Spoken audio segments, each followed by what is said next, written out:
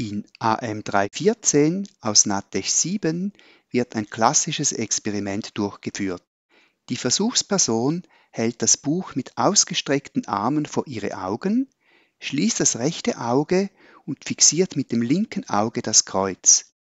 Wird jetzt das Buch langsam gegen das Gesicht gezogen, verschwindet plötzlich das Quadrat. Sein Bild fällt auf den blinden Fleck der Netzhaut. Wird das Buch wieder weggeschoben, erscheint das Quadrat erneut.